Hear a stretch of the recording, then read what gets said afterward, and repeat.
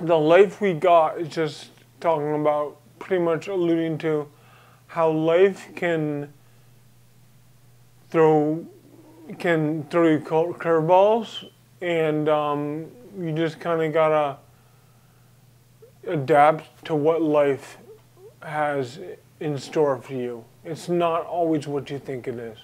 So the story is about the life that we got.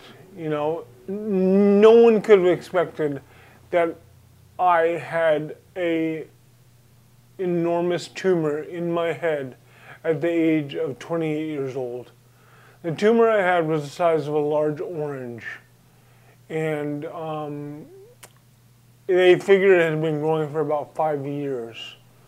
Um, and when they found the tumor, uh, when they saw the tumor on the MRI, the doctors couldn't believe that I could either walk or talk. So that was, you know, life. Life can throw you punches, and you gotta be able to roll with the punches. So that's the life that we got.